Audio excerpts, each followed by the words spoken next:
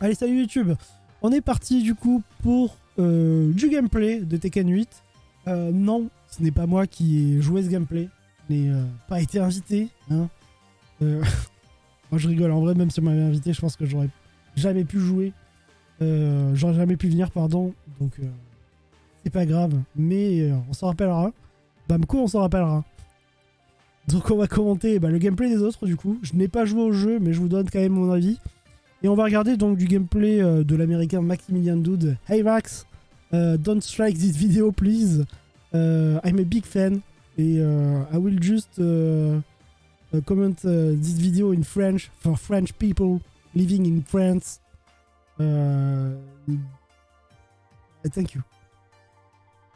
Ok, c'est parti. Le connard. Bon. Euh, on va couper la musique de Koff et on va mettre la bonne scène. Et, et voilà. C'est parti. Je sais pas s'il parle. What's up, dudes? Max here. So, as Ok, il parle. Donc, on va regarder sans le son. Je vais mettre de la musique. Hop, je mets pause. Alors, je vous inviterai à aller voir la vidéo. Je la linkerai la vidéo dans les, dans les commentaires. Je vais remettre un petit peu de musique comme ça en fond. Et on va checker ça. Donc, c'est euh, Lars contre Jin. Euh, donc, vous voyez l'interface du jeu. euh, alors que Jin n'a déjà plus de, de, hits. Il a tout dépensé sur une ouverture de garde. Alors déjà, ce qu'on peut remarquer, c'est que, eh bien, ça fait des combos. Déjà, cette arène, elle est exclusive, on l'avait jamais vue. Ah non, c'est l'arène avec les bidons qui explosent. Je sais pas.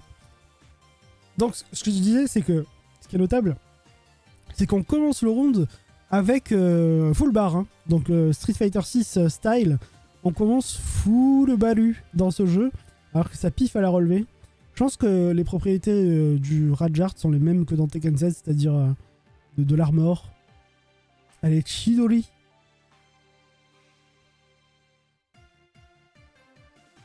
Ok, j'ai l'impression que les, il y a quelques rounds comme ça qui sont choisis, mais c'est pas grave. Au moins, ça nous montre un petit peu de, de variété de personnages. Est Jin contre Nina. Alors qu'on a le hit euh, Engager ici. Oh là, elle, elle peut mettre des coups de gun carrément. Ça fait mal, hein. Les dégâts qui sont présents. Pas combo là-dessus. Il va pouvoir combo sur ce hit Engager ici. Euh, il faudrait que je revoie mes notes sur Tekken 8. J'ai l'impression d'utiliser les mauvais termes. Je me rappelle plus qu'est-ce qui est hit smash, hit euh, dash, hit engager, etc. J'ai l'impression que quand tu run, c'est. Oh le combo Ah oui, c'est le mode hit de Jin qui lui permet de faire un flash kick euh, supplémentaire. Hop, et ça piffe à la relevée. Est-ce que ça va faire les dégâts? Ça fait tout ça de dégâts? Non. Non, évidemment. Les dégâts sont modérés hein, de la Rajart, plutôt modérés. Et ça va être double touche ici, mais ça va en faveur de, Nina. Alors j'ai jamais commenté de Tekken, alors je vais pas m'inventer une vie, vous dire quels coups sont lesquels. On va juste réagir à ce qui se passe à l'écran, bien évidemment, comme d'habitude. Cette, ce, ce- ce- ce- cette analyse vous est proposée par... Ouf. Il va pouvoir continuer son combo là-dessus avec Hit Smash et Engager, d'accord Euh, Évidemment, je suis un noob de Tekken, hein, donc euh, veuillez me pardonner si je fais des erreurs, évidemment. Elle a raté le dernier truc. Ok. Alors qu'on on voit bien que euh, certaines personnes avaient des doutes, mais il y a bien des side steps, donc on peut se déplacer sur le côté, hein, sur toute la, surface en 3D, euh, vu qu'on est sur un jeu de combat en 3D. Et euh, il y a l'air d'avoir aussi tout ce qui est wave dash et Korean backdash. Euh, bon, les spécialistes diront, mais j'ai l'impression qu'on peut faire les mêmes mouvements que dans Tekken 7, donc je vois pas pourquoi il n'y aurait pas de Korean backdash. Et encore la super à la relevée. Ça piffe à la relevée ici. Hein. Hop, nouveau round. C'est bien, il y a quelques rounds différents. Ah bah, on va avoir du Kazuya et du King. Franchement, pas mal en fait ce qu'il a fait. De mettre euh, différents rounds comme ça. Je pense que euh, mettre des matchs en entier là tout de suite, ça a, peu d'un. Qui passe. Ça a peu d'importance euh, tout de suite. Salut Descent Chou, ça va et toi? Ouais, bah écoute, ça va super. Euh, De mon côté, on mate du Tekken 8. Ensuite, on parle de SNK. Voilà. Et ça fait le combo Ish. On dirait un combo. pour le coup, on dirait un combo Devil euh, celui-là. Allez, le. Ah, d'accord. Il veut pas tuer. Staran qui est vraiment très stylé. J'imagine qu'il y a un combo euh, euh, descente de balcon. Salut Wastar. En fait, quand il est en hit, Kazuya, il est totalement Devil Kazuya et il a son gameplay qui est, un peu différent, j'imagine. Blah Oh, les dégâts Il rigole zéro, King. Il est pas là pour, euh, pour distraire le public. hein. Ok. Ils ont plus de hit system, ça a été dépensé. J'imagine, je, je me doute que avec un jeu qui commence en full bar, bah, ça va un peu se passer comme Street Fighter 6, c'est-à-dire qu'il peut y avoir des rounds fulgurants. Euh, Bon, à mon avis, il doit y avoir aussi des, des rounds, euh, des rounds classiques. hein. Là, là, typiquement, il s'est passé euh, 24 secondes, c'est que c'est un round de, Tekken classique, quoi. En plus, c'est pas forcément les. Enfin, c'est la team Maximilian qui joue là, donc c'est pas nécessairement les meilleurs joueurs de Tekken, mais au moins ça joue à peu près comme nous, quoi. Donc euh, c'est ça qui est pas mal. Est-ce qu'il va casser le, balcon? Ouais, on, peut voir un combo balcon ici. Oh, il a raté, il voulait mettre la chope en juggle. Hop, électrique, combo avec throw attack et il met le Rajart, ok, pourquoi pas.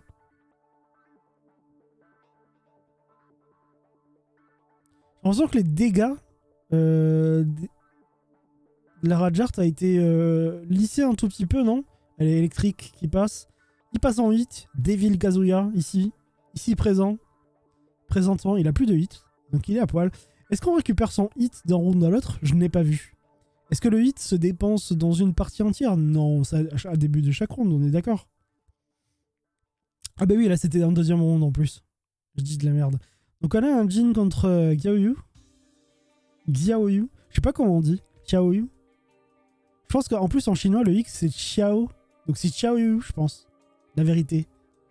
Oh joli cette cinématique. Ah ça nous montre... euh, Ce qu'on est en train de voir c'est le mode euh, combo facile à l'écran. Ah c'est sympa qu'il montre ça, la vérité. Donc euh, le jeu te donne en fait des indications pour, bah, pour, pour combo. Et tu as des raccourcis aussi pour bah, directement pour, pour avoir accès. Si tu appuies sur X là, par exemple, Jiao, elle, elle peut faire un power crush. Avec Ron, elle a une low attack. Avec carré carré carré, elle a euh, speciality move, ok. Et triangle triangle triangle, un air combo avec R1 un hit smash. Franchement, c'est pas mal. Oui, quand t'as les barres directes, je suis d'accord avec toi, Desenshu. Dans le chat, on nous dit, pour YouTube, que un jeu de combat où t'as les barres directes d'entrée, c'est cool pour les streams, c'est cool pour les spectateurs. Et je suis assez d'accord. Je pense que c'est pour ça qu'ils le font. Ils le font pour que ce soit spectaculaire tout de suite. On est vraiment euh, quelque chose de de- d'immédiat. Et c'est très bien. Là, on a vraiment deux débutants qui s'essayent euh, au mode, euh, euh, combo custom là, de, Tekken. Et euh, c'est très bien qu'ils aient fait ça. Savoir que Arada euh, est plutôt un partisan de, à l'ancienne hein, de la difficulté, de l'exécution, du jeu qui récompense. Ça fait mal là. Là, ça fait un peu plus de dégâts à Rajart. Ok. Là, il va pouvoir faire auto-combo tout simplement avec triangle, triangle, triangle. Très bien. Et euh, donner un petit peu d'accessibilité euh, dans un Tekken, c'est bien. Sachant que c'était pas nécessairement euh, gagné d'avance. Je pense que c'est pour ça que les combos font pas tant de dégâts que ça, c'est parce qu'il est en auto-combo. Ou alors on vire les barres comme dans Virtua Fighter 5, c'est ultra dynamique. Ce matin à Léo. Bah tu vois, j'ai maté Virtua, Virtua Fighter, très honnêtement. Et moi j'ai trouvé ça chiant à regarder. J'ai l'impression qu'il se passait pas grand chose dans l'écran. J'ai l'impression que c'était vraiment un jeu euh, anti-spectacle, quoi. Virtua Fighter 5. En plus, tu comprends pas très bien ce qui se passe à l'écran, étant donné que les persos, ils ont 200 moves, tu vois. Et que si t'es pas un super spécialiste du jeu, euh, pour décrypter l'ac- l'action, c'est compliqué, quoi. J'ai trouvé. Avis personnel sur Virtua Fighter 5. Je sais que les, les fans de Virtua Fighter vont, vont pas être contents quand je dis ça. Là, on a King contre euh, Chao. Is, is. Le. Probablement un 1-2 hit engager. Ouais, pareil, de Sancho. Je trouve aussi que Tekken, c'est. c'est- pas en soi, c'est pas plus lisible, mais c'est plus spectaculaire. Paf Oh, les dégâts. C'est plus attrayant, quoi, visuellement. Un avis perso, euh, j'imagine qu'il y a des gens qui trouveront que l'inverse, tu vois. J'ai regardé du Virtua Fighter à 6h du matin là, avec Ken euh, MGG. D'ailleurs, euh, bravo, à- j'en profite euh, de leur dire bravo pour leur taf pour les Votes Japan, c'était cool. Oh, oh, les dégâts Ich oh, il fait des tellement mal Comme tellement Virtua Fighter, la philosophie du jeu de combat simple à l'ancienne, sans fioriture, juste le main game de la 3D. Bonsoir. Ouais, ouais, mais je comprends euh, que on puisse aimer le. Je veux dire, le, jouer juste au jeu de combat sans qu'il y ait trop de mécanique et tout. Mais euh, je pense que tous- les jeux ne doivent pas être comme ça.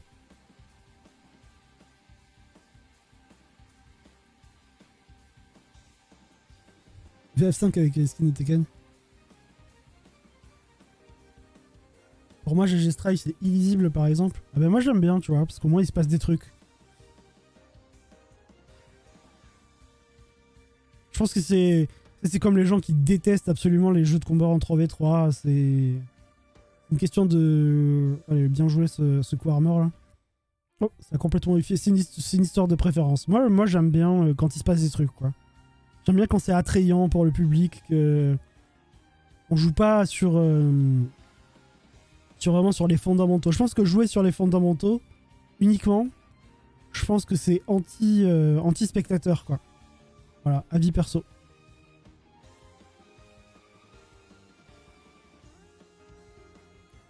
C'est marrant que vous en parliez, je comptais pas en parler des Virtua Fighter, mais c'est vraiment la réflexion que je me suis fait à 6h du matin quand j'ai regardé le jeu.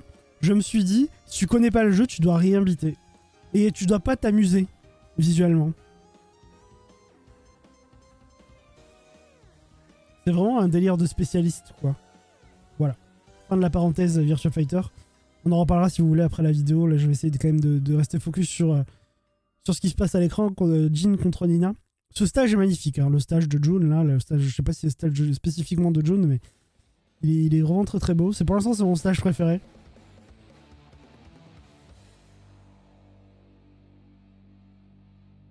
Le jeu où j'ai le plus de mal à suivre, c'est UMVC. Ouais, mais UMVC, je veux bien comprendre, parce que c'est absurde. C'est le concept du jeu d'être absurde, donc c'est normal en fait. Celui de la caverne, ouais, ouais, ouais. Celui-là, du coup. Oh, qu'est-ce que c'est beau, les éclairages et tout, c'est incroyable quand même. Je sais qu'il y en a beaucoup qui détestent les effets de particules, je trouve ça tellement stylé personnellement. Je sais que ça fait cheap, que ça fait, euh, ça fait tuning un peu, mais euh, je sais pas, sur moi ça marche. Alors on fait, là, ils montrent quelques démonstrations de, de mouvements. On voit qu'ils font des, des backdash euh, cancel side step.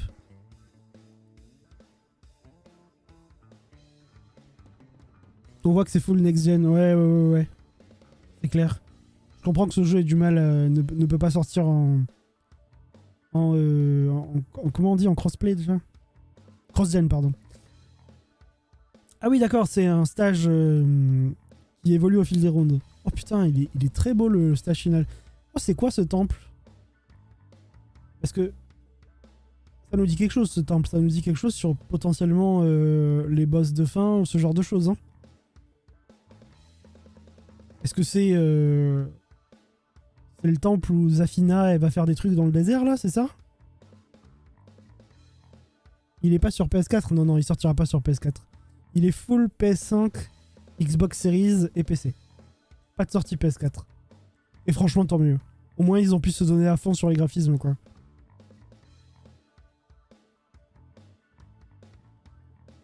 Parce que franchement, je sais qu'il y en a plein qui pensent que Street Fighter 6, c'est cool qu'il sorte sur PS4.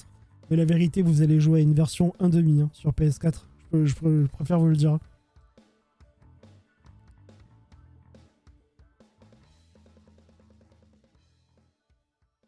Vous allez jouer une version 800p dégueu. C'est sûr. Ouf Oh, ça fait mal. Une version, euh, une version, ouais, personne n'a vu des images, ouais. Des choses à vous dire sur la version PS4 de Street Fighter 6. Malheureusement, on va devoir rester euh, politiquement correct. Ah, de la Jujun, ok. Ah, dommage, c'est euh, c'est en version assistée. Ok. J'aime bien les effets de lumière qu'ils ont rajoutés sur le jaune, là. Elle va purifier ta race. Ok. Hmm. Oh. C'est une nouvelle variante de L-Sweep, ça? Ok. Électrique, ça, ça link pas, malheureusement. Il a dépensé toute sa, barre de son barre de hit là pour faire ce spécial move. Ok. Ah Et puis il fallait relever. Et ça touche évidemment. Son Rajart qui a l'air d'être complètement euh, un mid euh, punissable standard. C'est. Le Rajard de June, c'est tellement un Akai de, de Virus, quoi.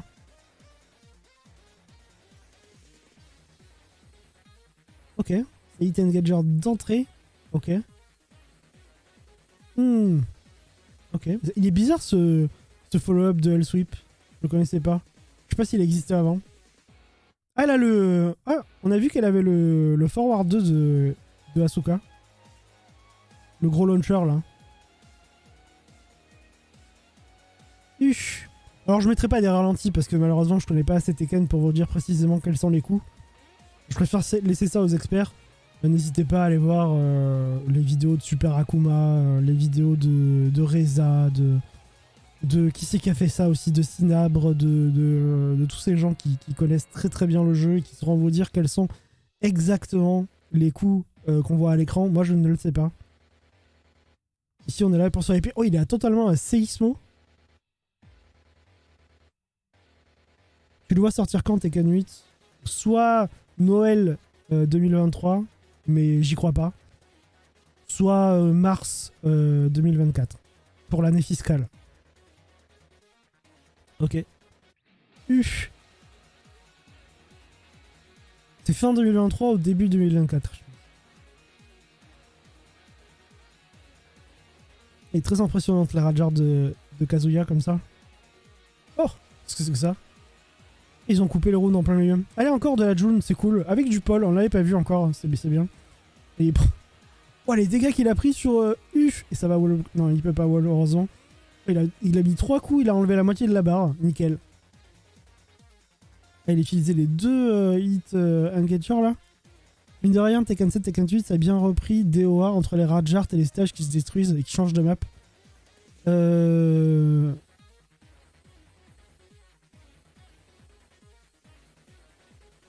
Je sais pas si c'est pas Tekken qui a inventé les changements de stage. Ah non, le jeu qui a inventé les changements de stage, c'est Mortal Kombat, en vérité. J'avais fait une vidéo là-dessus. Mortal Kombat 3, si je dis pas de bêtises, ou je crois que c'est le 2 ou le 3.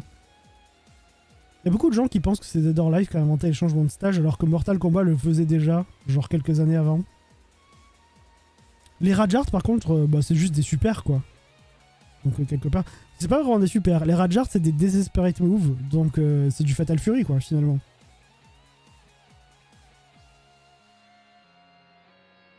Ce serait vraiment bien qu'ils nous sortent un DOA 7 sans les trucs malaisants, je suis ultra d'accord avec toi. Moi j'ai des. euh, DOA c'est un jeu que j'avais beaucoup aimé. Il fait super mal. J'avais beaucoup aimé DOA 2 sur Dreamcast et DOA 3 sur Xbox. Et après j'ai lâché parce que c'est. En fait à partir de Extreme Beach Volley, oh wall euh, balcon euh, combo. À partir de Extreme Beach Volley, je me suis dit bon, c'est trop pour moi. Y a rien de malsain dans DOA Si, si. euh, les, les, les personnages ont un problème de bonnet et de soutien-gorge.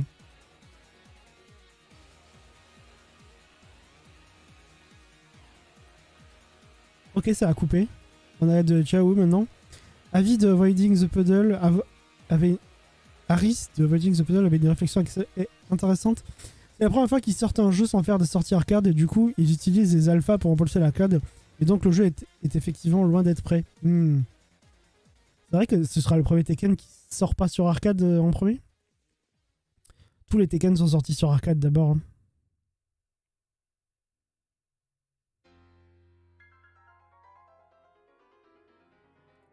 Pour DOA, euh, je suis pas, trop d'accord. Les DLC, t'es pas obligé de les acheter. hein. C'est euh, c'est la sexualité des personnages qui est, malaisante dans DOA. hein. Vous pouvez ne pas être d'accord, vous pouvez dire que je suis. euh, Mais c'est pas vendable en fait. Je pense que tu- peux, tu peux pas mettre DOA à l'Evo. Comment tu présentes ça à des marques? Comment tu présentes ça à des chaînes de télé Des meufs semi à poil? Tu peux pas en fait. C'est un délire de Weebos quoi, c'est malsain. C'est presque présenter un jeu euh, Hello Gay ou un jeu hentai, tu vois, à des marques quoi. C'est pas possible en fait. Et c'est d'ailleurs un des gros problèmes des jeux de combat selon moi. On parle de plein de choses dans les jeux de combat qui gênent pour leur popularité, mais la vérité c'est que leur la sexualité des personnages féminins et masculins aussi, hein, parce qu'on a des personnages torse nu et tout, hein, euh, c'est problématique. Avis perso. Ouais, Street Fighter V, c'est plein de persos limites. hein. Certains skins de Laura, certains skins de, Mika, euh, des cinématiques de Super qu'ils ont dû euh, complètement changer. euh. Ok, bah ça punit direct. Ça punit ça? Ah, Elle arrive à punir le launcher. Moi, je regarde pas DOA pour les nanas, c'est les persos. Ouais, mais ça, c'est. C'est. hum, T'es un peu comme moi avec Melty Blood, tu vois. Melty Blood, je comprends que certains trouvent ça très gênant, que ce soit des écolières et tout. Mais moi, j'aime bien comment le jeu bouge et les combos. Mais la vérité, c'est que je comprends pourquoi les gens trouvent ça malaisant. Y a pas de problème.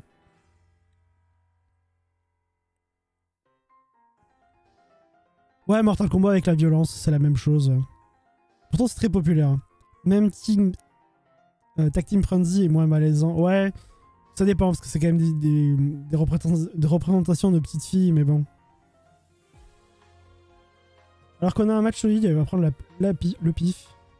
Il y a beaucoup de pif dans ce... Maximilian, il nous a donné tous les pifs. Je pense qu'il voulait montrer aussi les, les super, c'est pour ça qu'il a choisi ces séquences-là. Vous avez vu quand le personnage passe en rage, il a vraiment un- une espèce d'explosion autour de lui. Oh, Jack. C'est bientôt la fin là, non? Ouais, c'est bientôt la fin.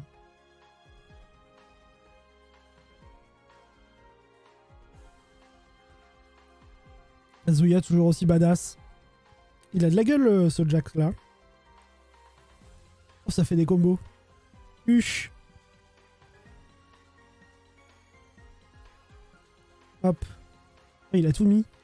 Vous avez vu, il a utilisé toute sa barre de hit pour un coup spécial. Et c'était nul, quoi.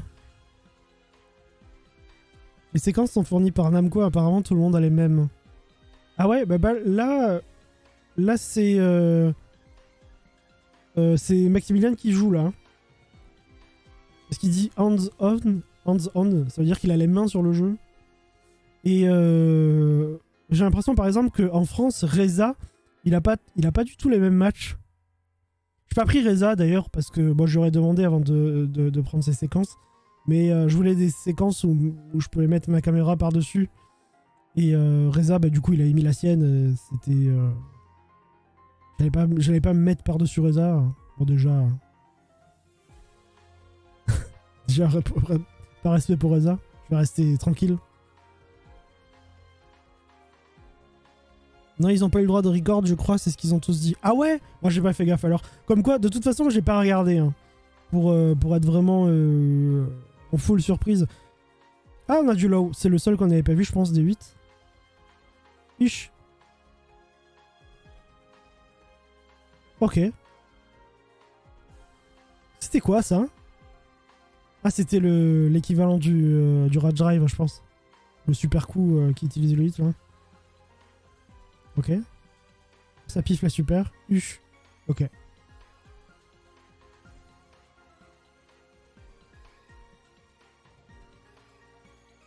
À la limite, si, ces- si ces séquences sont euh, dispo ailleurs, j'aurais peut-être dû euh, ne pas les prendre chez Maximilian, mais bon. Tant pis. Bon, au pire, ça, nous fait déjà une vidéo déjà montée, parce que ça va durer 20 minutes, je pense que c'est très bien pour YouTube.